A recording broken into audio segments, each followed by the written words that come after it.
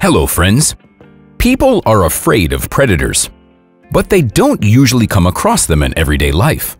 However, there are places where simply going out to one's porch is enough to encounter a dangerous animal.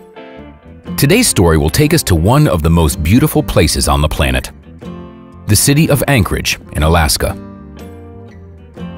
The landscapes there are incredible, since the city is surrounded by the Chugach Mountains and Cook Bay on all sides. Photographer Tim Newton lives on the outskirts of Anchorage. The man says that foxes and bears can often be seen near his house, so he even learned to identify his guests by the noises they make. One morning, Tim heard the characteristic noise coming from the porch of his house once again. We basically live on the edge of the forest, so we're used to being visited by wild animals, says Tim. However, this time the sounds were somewhat unusual, so Tim went out to personally see who had come to visit him that day.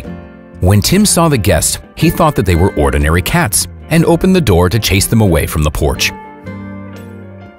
However, the two kittens didn't seem to pay any attention to Tim. Then suddenly, the man realized that those weren't regular cats, but lynx cubs. Sure, the lynx isn't the rarest animal in that area, but big cats don't like being around people, so they do their best to avoid coming across them.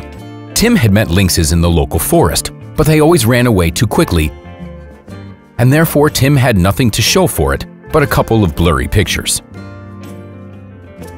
However, it was something completely different having the lynxes come to the man's home. It was very early in the morning and the lighting was poor, but luckily, the lynxes stayed on the porch long enough for Tim to photograph them from all angles. At first, only two kittens were playing at the door, but after Tim scared them by opening the door, they ran away. However, a few minutes later, they returned with their brothers, sisters, and mother. The Lynx family seemed to feel quite comfortable on the porch of the photographer's house. They look so cute, it's hard not to want to pet them. The lynxes just kept coming and coming, says Tim. They obviously enjoyed using my porch as a playground. The photographer was incredibly lucky. It seemed as if the animals had specifically come over to pose for him. While the lynxes were playing at the door of his house, Tim managed to take about 200 photos. It was nice to see seven kittens playing on our porch. Their mother was very alert and looked at the photographer and his camera for a long time, the photographer wrote on Facebook. The lynxes spent a little less than an hour at Tim's house, after which they calmly retired back into the forest. Taking a picture of an adult lynx in the wild is quite difficult, let alone a whole family. And these kittens seem to be deliberately posing for the camera. Tim believes that he was just unspeakably lucky.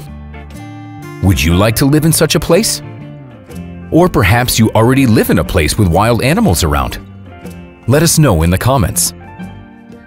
The lynx is a predatory animal of the family Felidae. It is larger than many dogs. The animal lives in North America, Canada, Russia, and Central Asia. This animal is on the red list, and it is at risk because of its valuable fur. Now the population of lynxes around the world has almost recovered thanks to the long-term ban on hunting them and attempts by scientists to restore their population. And that's all for today, friends. Share your thoughts about today's episode in the comments. And don't forget to share the video with your friends. We'll see you next time.